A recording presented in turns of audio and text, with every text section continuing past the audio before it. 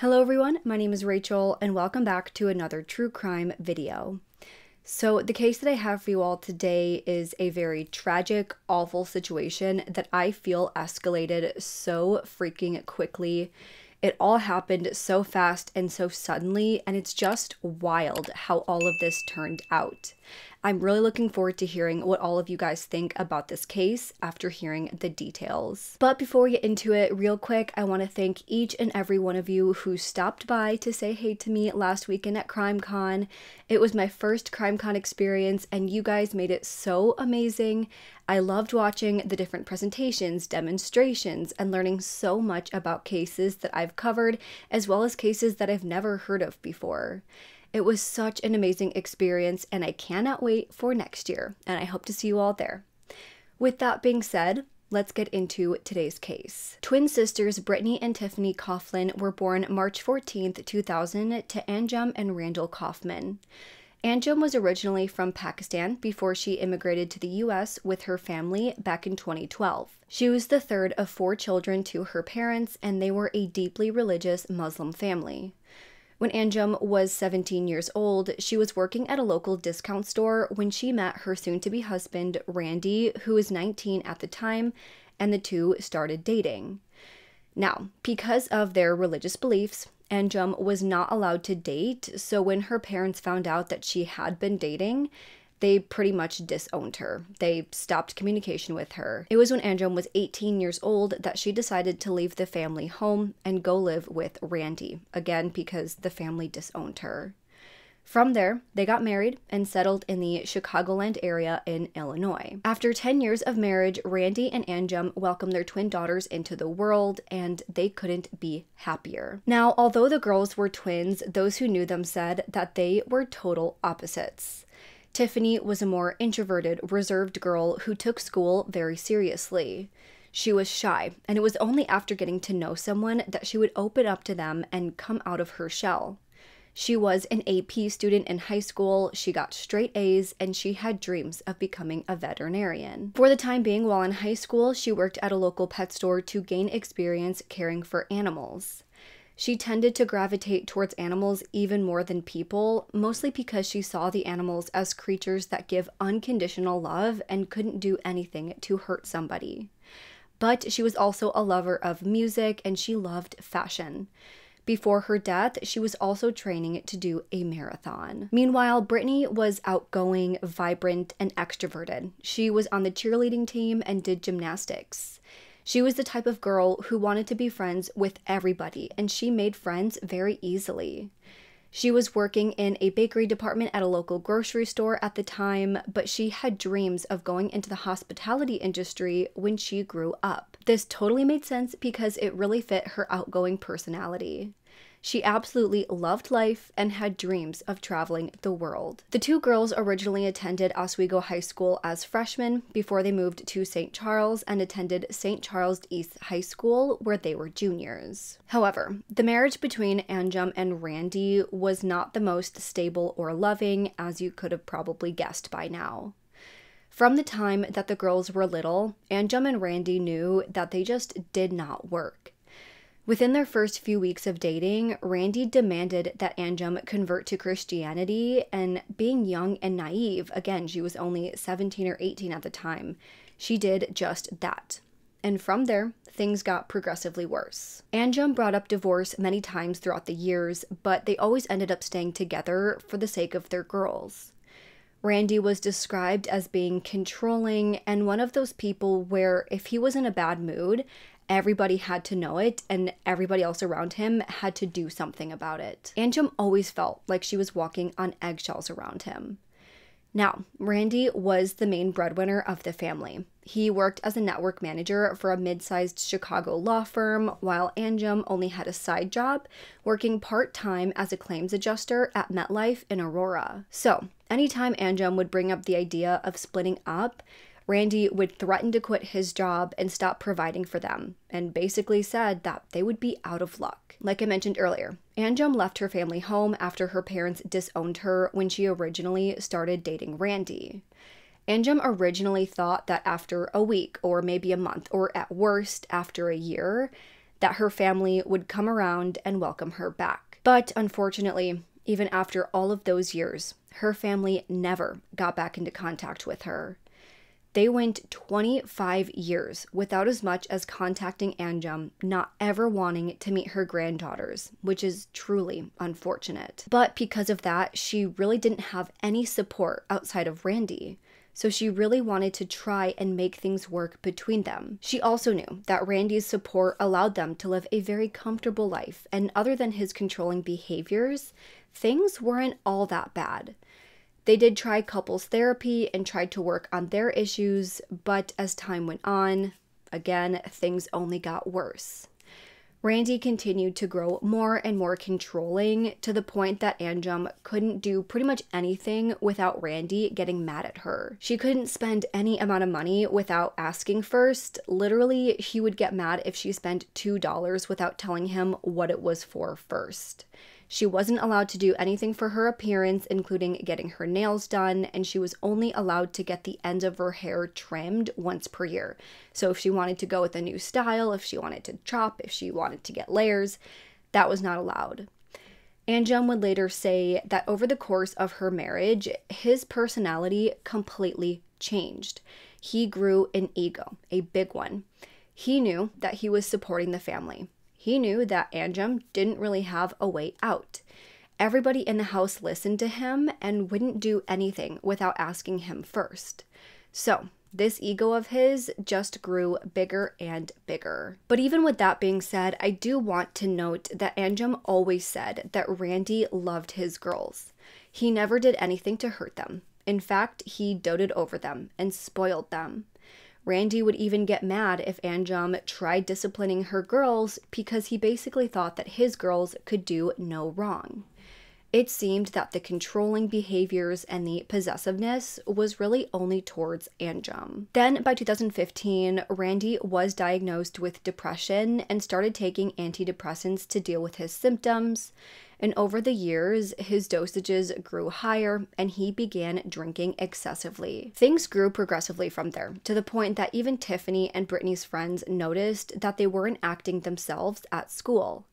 Brittany, especially, her friends said that she tried her best to put out a strong front, but you could tell that she was struggling. Her grades were falling, and she told friends that she was having a hard time finishing her assignments because her home life just was not good. Then, by February of 2017, after 28 years of marriage, 46 year old Anjum and 48 year old Randy decided that it was best if they went their separate ways. This decision was described as a mutual one, with both parties seemingly okay with it.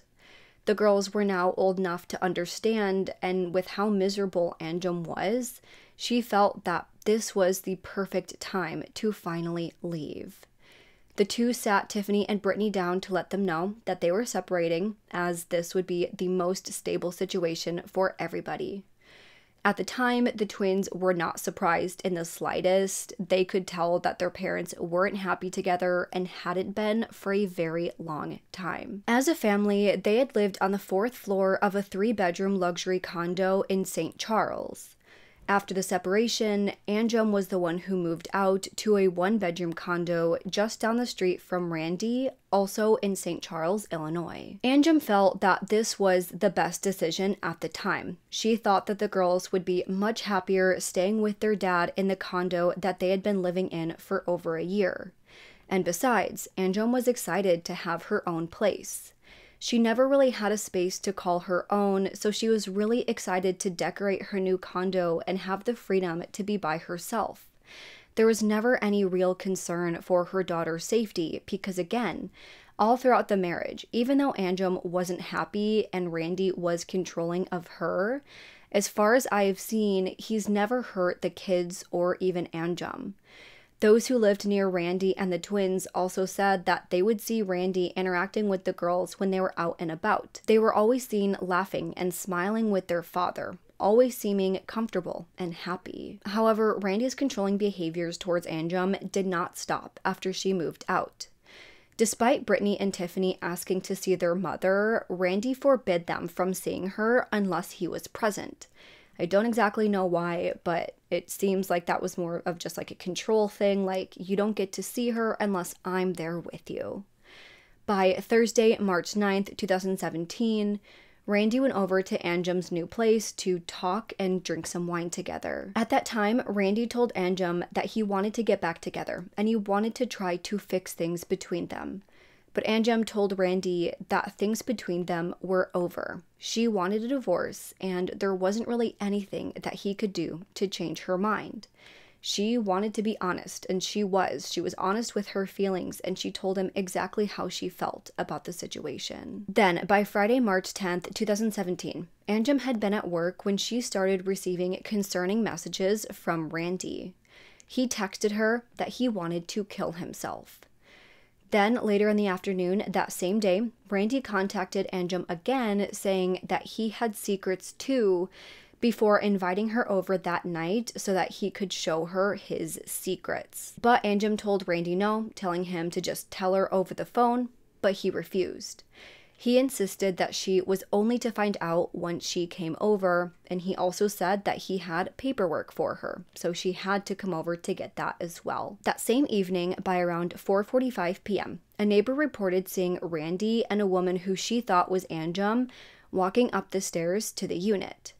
This neighbor had never actually seen Anjum before. She didn't know if this was Randy's wife, but she sort of deduced that it was. The neighbor said that it looked like the pair were in a hurry since Randy was walking up two or three steps at a time, but they didn't look like they were arguing and it didn't seem like anything was wrong at the time. While at the apartment at that time, Anjum said that the call she got from Randy did scare her but she ended up going to his apartment to see what this was all about and again to get those papers that he told her about. When Anjum entered the apartment, she noticed that Brittany was lying on the couch.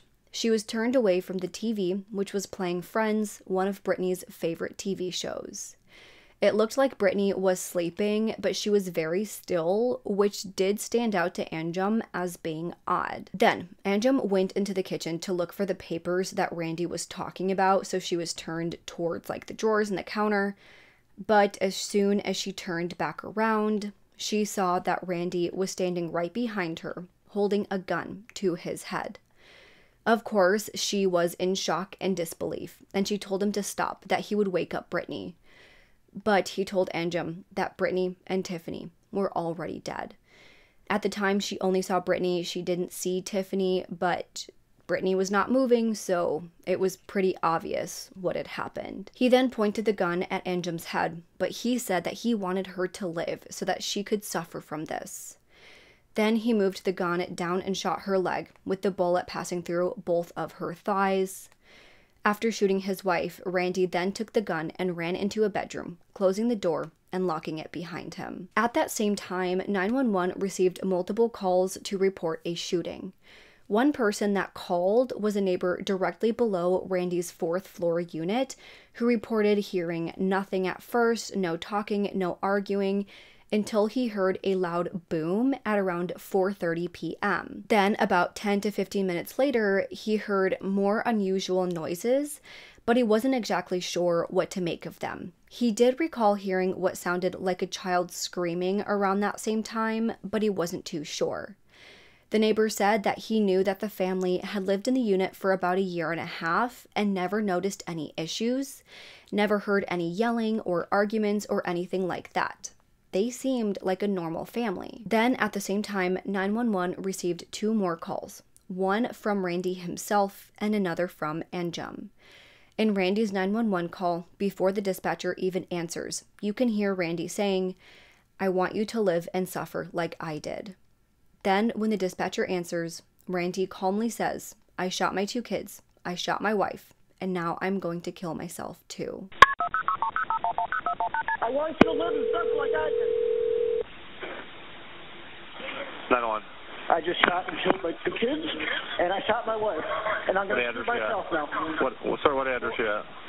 What? What address you at? 450 South First Street, St. Charles, Unit 406. I'm going to kill myself now, too. My two sir, girls sir, are sir, dead, sir, and I'm killing myself. Sir, sir, sir, sir, sir. All right, so 450 South First Street in St. Charles? Line with me. Okay, ma'am. Ma'am. Sir.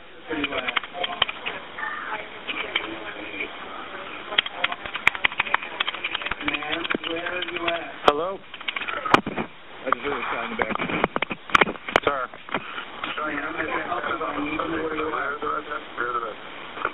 Sir. Yeah. Yeah. I got no voice contact now. Yeah, my, uh, guy shot a female and a male, but I don't have an address for her. Okay, could it be four zero South First?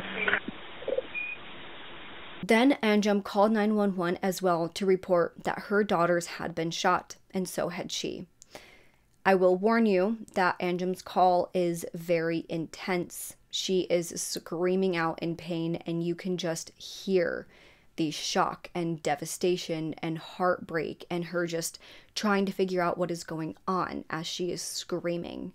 She knows that her daughters are dead, and she's trying to explain what happened to the dispatcher. She's trying to process everything at the same time, but God, it is truly awful to listen to. The call is about five to seven minutes long, depending on how I edit it down.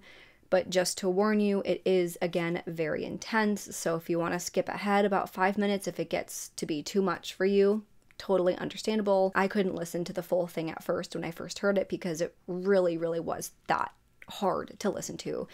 Again, she's just screaming out. It's just, it's such a devastating call to hear.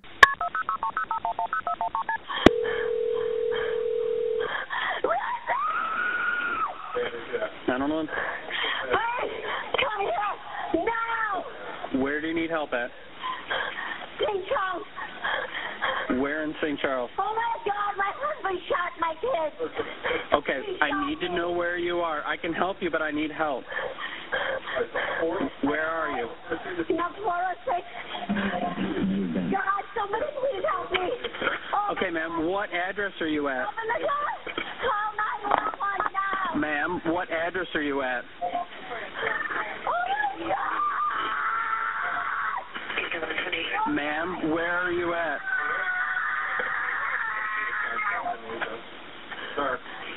Ma'am, I can help you, but I need to know where you are.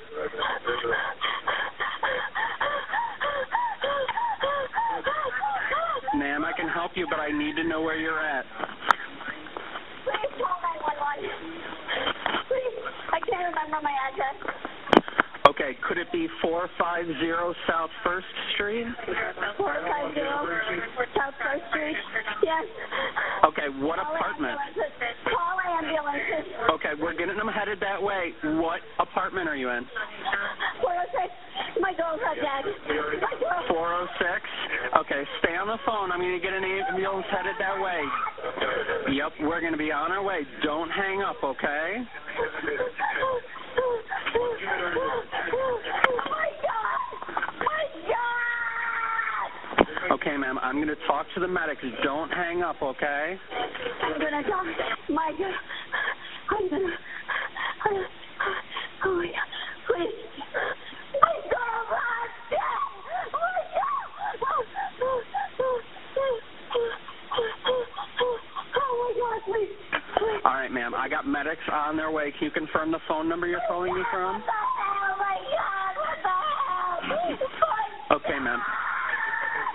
Ma'am, I got medics on their way, okay? Where's the bad guy at? He's in the back room, and I don't know what he's done. I don't know. He's in the back room. He's in my God! I Just get over here now. My Okay, they're on their way. My God! Okay. My God! Okay, ma'am. I got medics on their way. I got officers on their way. The offender's in the back room. Ma'am, do you know where the gun is? I don't know if he has it. Please just get over here. I don't want him answering any more questions. He shot me. Okay, ma'am, where are you shot at? I don't know my life. You guys killed him. Okay, and again, that's- oh My God, my God, my God, oh my God, my God. Okay, ma'am, and you're in apartment 406, correct? All right. We got officers coming up now. I need to know where he is. Are you safe where you are? I, I don't. Please, please, please, my girl, okay. My girl, Brittany, get me, Brittany. Okay, ma'am. They're on their way. We're going to try to get you help, okay? But I need you to calm down. Brittany, Brittany, Brittany. Brittany. Okay, ma'am. Are you safe where you are? She shot me. Ma'am, are you safe where you are? Do we know where he is? I'm going into shock. I don't know where he is. Ma'am, are you safe where you are? Do we know where he is? He killed my girls. He fucking killed my girls. Okay, ma'am, and I can help you, but I need you to calm down. Where is he? He's in the bedroom. I don't know what he's done. I don't know if he's done. Okay, is he still in the apartment?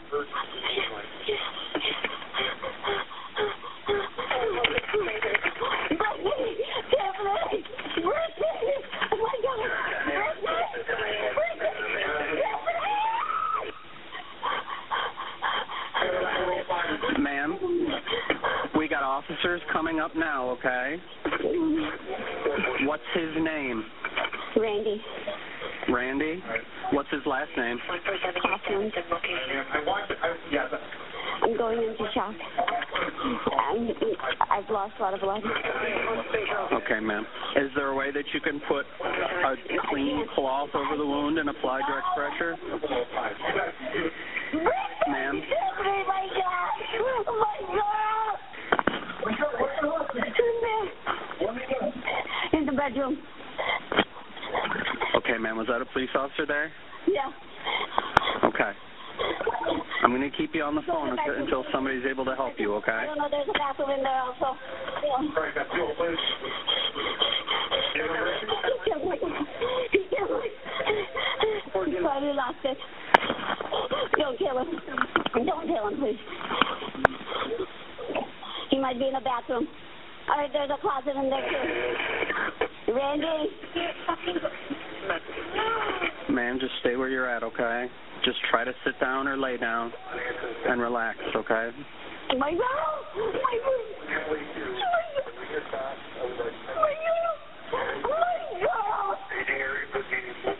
My girl. One of them is in the bed. Oh, and the other one is in the bedroom, I think.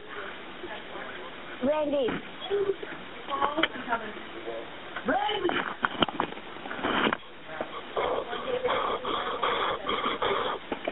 Ma'am, do you have an officer with you now? I need my girls to be checked. Please check my girls. Please check my girls. One of them is lying. Oh, me. Ma'am, do you have an officer there? Brittany and Tiffany.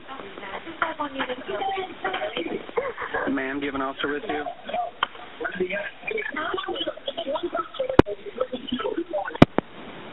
When first responders arrived to the scene, they pretty much described the same from Anjum.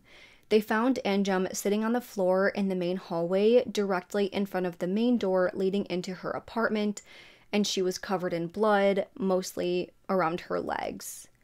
Anjum was just hysterically screaming over and over and over again, saying that he shot her daughters and calling out their names over and over and over again. She kept screaming and asking if her daughters were okay. First responders report that she was in such a state of shock that she couldn't even understand what people were saying to her. All she could get out was that the shooter was still in the home. So officers made their way into the condo until getting into the master bedroom where Anjum told officers Randy was. At the time, they called out to Randy demanding that he come out, but he wasn't answering. So they kicked down the bedroom door, which again had been locked. He wasn't in the bedroom, so they went and kicked down the bathroom door, which was also locked. When they got into the bathroom, they found Randy, who was lying face down, submerged in blood soaked water in the bathtub. On the counter in the bathroom, police found a magazine that belonged to a 9mm handgun with bullets still inside. They also found a cell phone which had 911 dialed in it. They also found a 9mm handgun right next to Randy's body. Then they found another 9mm handgun in the closet within the apartment. As officers made their way through the rest of the apartment, again they found 16 year old Brittany lying dead on the couch. Her entire body was covered head to toe with a blanket, and it was obvious that she was dead. Then they went inside of one of the bedrooms, and there they found Tiffany dead from a single gunshot wound to her head. Brittany had also been killed by a single gunshot wound to her head. Tiffany had also been covered in her bedsheet from head to toe, and at the times that each girl was shot, it looked like Brittany had been lying on the couch watching TV while Tiffany was lying in her bed watching a video on her laptop. When Tiffany was shot, her head was still on the pillow. There was no sign of a struggle, and it didn't appear that either girl knew what was happening when they were shot. So, what we can sort of gather from this is that it seems like Randy called Anjum over to his place with the plan of killing his girls before she got there. Once she agreed and she was on her way, he killed the girls at around 4:30 at the same time that neighbors report hearing booms coming from the apartment. Anjum got there just 10 to 15 minutes later where he then shot Anjum before turning the gun on himself in that bathroom. It seemed like he had been planning this either from the moment that Anjum told him the night before that they weren't going to be getting back together or even that next day. It seemed that when he threatened to kill himself, that might not have gotten the reaction that he wanted out of Anjum. So he then took it a step further and threatened even more.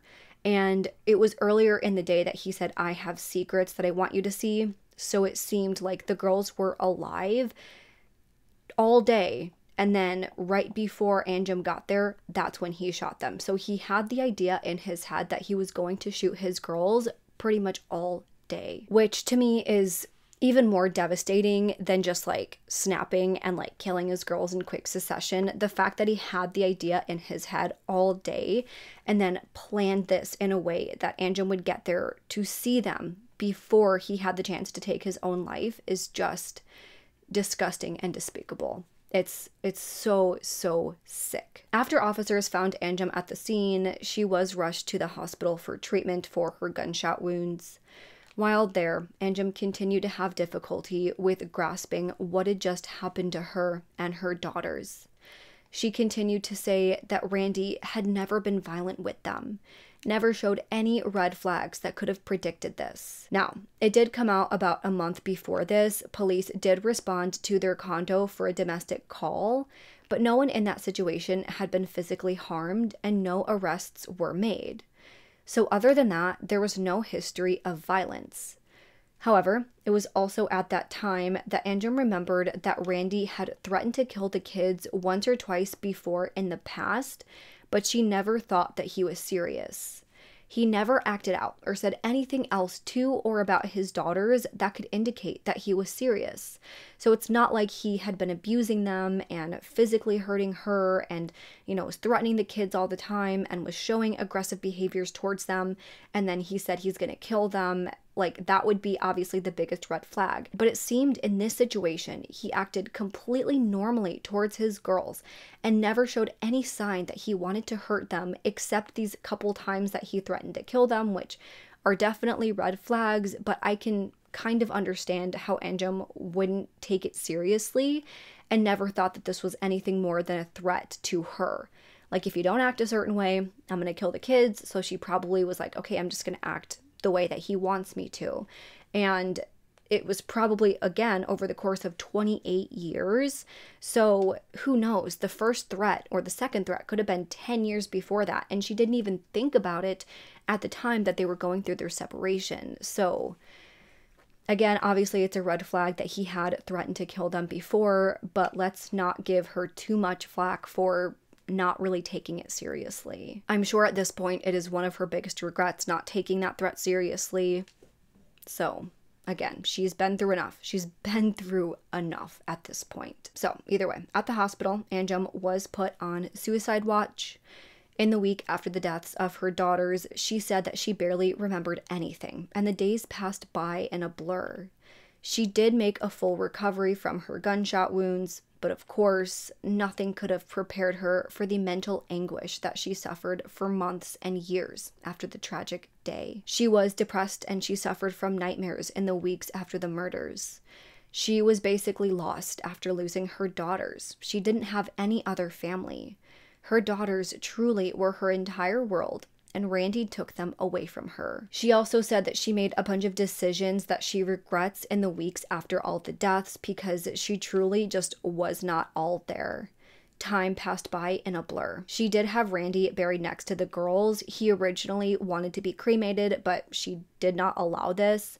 She instead buried him next to the girls so that he could be with them and tell them what he did to them.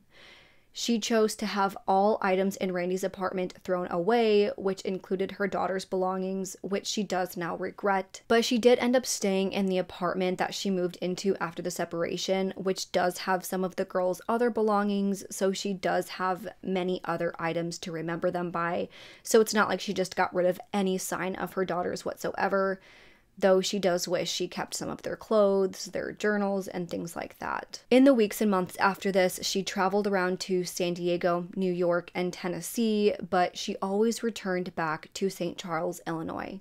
She just cannot leave her girls behind. She also has no family because even after the deaths of her daughters and husband, her family still has not contacted her. The other tragic part of this case is that the girls were murdered just three days before their 17th birthdays. By their 18th birthdays, Anjum threw them a big birthday party, which was attended by over a hundred people from their community. Anjum felt that her daughters would have wanted her to carry on after their deaths. They would want her to move forward and heal. Anjum started going back to therapy, she started exercising, and she created a group of close knit friends to surround herself with. She is also trying to use this tragedy to try and do some good in the world. She is now a member of Everytown Support Fund, which is a nationwide community of survivors to try and end gun violence. She believes that there should be red flags that prevent certain people from buying guns. She said that Randy bought his first gun one month before he killed his daughters, and at that time, he was abusing alcohol and his prescription medication. She had no idea that he made this purchase either. She is hoping to push laws that require anybody purchasing a gun to provide references. She said that many people would have told the gun sellers that Randy was not mentally healthy to have a gun at the time, and had he provided references, he may have been prevented from getting that gun that killed his family. She also promotes women having their own independence, their own jobs, and their own money to prevent controlling partners from being able to gain further control of them. She said that she will never recover from the loss, she will never forgive Randy for what he took from her but he does hope that her experience can help others through violence. She goes out there and talks about her experiences, what she went through, what she learned, and how others can help themselves. Here is one of those videos so you can hear it all in her own words. My name is Anjum Coffland, and I'm a mother of Tiffany and Brittany Coffland. My husband and I, we were having problems for years and years and years and we had finally decided i think it would be a best decision to go our separate ways. He had asked me after i moved out that he had asked me to move back in with him almost like two weeks later. And i was very honest with him and i said you know what? I don't see myself ever being with you ever again. We have tried so many times to be work this marriage out. And it's not working. It, it wasn't working for last 15 years. And that I think really hurt him. My husband had called me and we were going through a divorce and he had asked me to come pick up some paperwork. And I said, sure, I'll stop by after work. When I approached the kitchen um, counter and he asked me to turn around and I see a gun in his hand. And at that point, I realized this is something very serious, and I was very scared. Um, and he, I did tell him that it's like, what do you think you're doing? And he had, um, that point, had told me that he had killed our children, and he's going to kill himself as well. and um, and during all that time, I also got shot because I honestly believe he wanted to kill me that day as well. It wasn't easy in the beginning. I felt like I couldn't do it. But at the same time, I also went into like a survival mode. And going through it just meant taking it day by day and come to realizing that, you know what, if there is such thing as God, if there is such thing as heaven and hell, I need to make sure I end up with my girls and be with my girls. If I do something stupid, I may not end up with my girls. And I want to go see them again. That keeps me going. I'm stressed out every day. Every day, I don't know how I'm going to get up in the morning and go to work. But I push myself to get through it because nobody understands that you're going through something so major, such a trauma. And I think my girls would be so proud of me because I'm going to keep pushing myself. I learned a lot about myself. I think the one thing that I did not think I was capable of doing is to taking care of myself. And I'm surprised that where I am right now, it's going to be five year. And um, I also realized that I'm not as I don't I don't want to put label, but like dumb or stupid or or not capable of figuring things out. Because I was put in that position. I was forced to be in that position. And I also learned I am in a really bad situation. The trauma was bad. But there's people out there in this world who have way worse than I do, way worse than I do. So what am I complaining about? Obviously, the gun laws need to change because how he got the gun, how easy it was for him to just decide this is what I'm going to do. So I'm just going to go get a gun. Never, never, ever, ever, I've known this man. He has never touched a gun. And because his state of mind, he decided he's just going to go get it and he's going to do this. And then within a week, he went bought another one. He had two guns, like a backup gun in case one doesn't work. One phone call, one phone call, not to me, maybe to his friend, maybe to his coworker, maybe to one of anyone. Everybody knew we were going through divorce. Everybody knew that. One phone call would have saved all this. It takes time to heal. You're never going to heal all the way through, but don't think this is the end of it, that you cannot do this. You can. You have to push yourself. You have to have yourself talk. You got this. You're going to do this. Do not give up on yourself. Keep going, keep pushing there are days you are just want to be i'm done no just let that feeling go for one more day you will get up the next day you're going to start all over again cry just cry whatever you need to get through that day tomorrow is going to be a different day brush yourself off and go i'm going to start again let's do it again and you may need to do that i don't know 100 times in one day but keep doing it keep doing it. So, after this, that is all I have for you guys today. Obviously, I think that Randy took the lives of his girls and wanted to show Anjum so that she could suffer as much as possible. And it worked. She did suffer. She was in anguish for the longest time, and she still is. I think that after learning that Anjum didn't want to get back together, he realized that he was losing control of her, so he decided to take away the things that she loved the most in the world. I mean, we literally heard him say it on the 911 call. He wanted her to suffer after the suffering that he felt she put him through. Obviously, it was selfish. This was definitely one of the most extreme cases of escalation that I've seen in cases like this. It's very interesting for me to know that he had no prior history of violence. He was controlling, which is a red flag, but Anjum said herself that he was never violent. She could never have seen something like this coming. Usually, in cases like this, we see the perpetrator showing violent tendencies and then showing more and more escalating behaviors before they go and murder somebody. But for Randy, it seemed that he was escalating just a little bit with his controlling behaviors over the years. But after that, he went from like 10 to 100 in a day after learning that Anjum wanted to stay separated. It's just crazy. But that is all I have for today's case. Obviously, my heart goes out to Tiffany and Brittany and Anjum.